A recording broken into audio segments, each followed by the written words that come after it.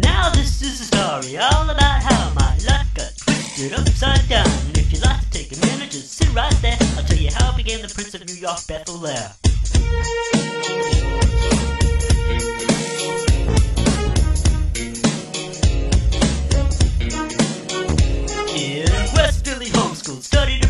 In the K-hole is where I spend most of my. Singing out praises and reciting Bible reading in the ministry school with a couple of guys who were up to no good. Started apostatizing in my neighborhood.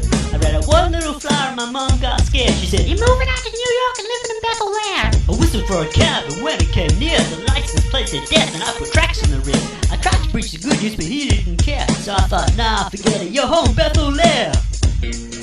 I pulled up to a joint about 7 God's kingdom, I was finally there to sit on my bed in a room six foot square.